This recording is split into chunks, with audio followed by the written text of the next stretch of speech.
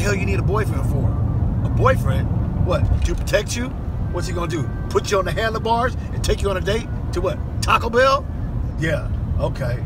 Then next thing you know, why why why you like him? Oh, because he can hold my hand. Really? He can hold your hand. Okay. Then all of a sudden, I think I'm pregnant.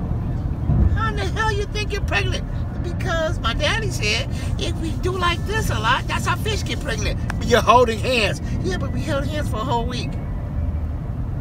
Really? Okay. You want a boyfriend. You want a boyfriend. A boyfriend. Friend. You can have a friend. You can be a boy. That's about it. Trust me. Boyfriend.